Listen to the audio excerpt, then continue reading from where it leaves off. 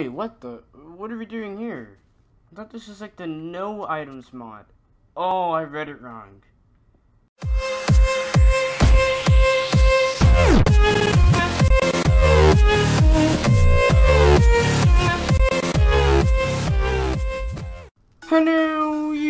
YouTube, apparently we're recording on the Mo items mod this time. Um, apparently this is something else. I thought it was like no items, I read it wrong in Mediafire.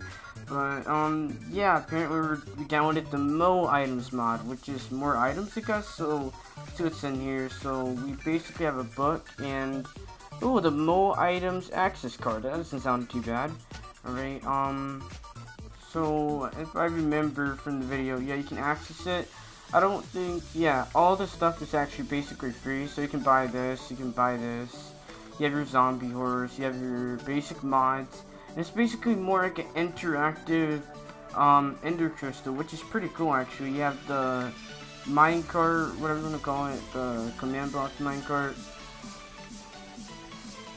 You have the firework star, which is completely pointless. Hmm. You have your weird mushroom blocks. But yeah, that command block with minecart, let's test that even works. I don't recall it working, but let's just test it out.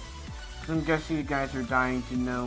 Um, hopefully it works. Like, I know the command block part is definitely not going to work, but let's see if... Ah, it's just a regular minecart. Which is really fast. Like, this seems modded or something. Like, what is this? Hmm. Minecart with command block. But how is that even possible? Like, this is way too fast for a regular minecart. It's insane. Let's just place down some more cart track.